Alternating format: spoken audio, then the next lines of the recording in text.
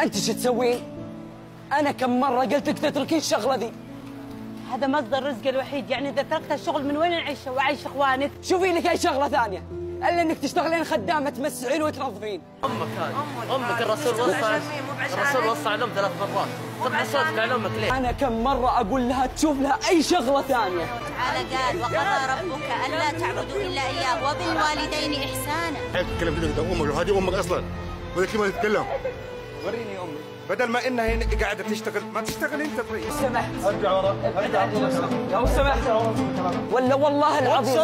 وطي صوتك يا ولد أنت ما ترضى على أمك. ما ترضى على أمك. تشتغلين خدامه لو سمحت.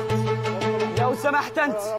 لو سمحت. لو عاد تتكلم معاه زي كده حديك على وجهك. كيف أمك يا حيوان. افتكر فيها. أحسن لك. بس نظف انت يا وسخ نظف انت نظف تعال نظف يكون عندك ولد.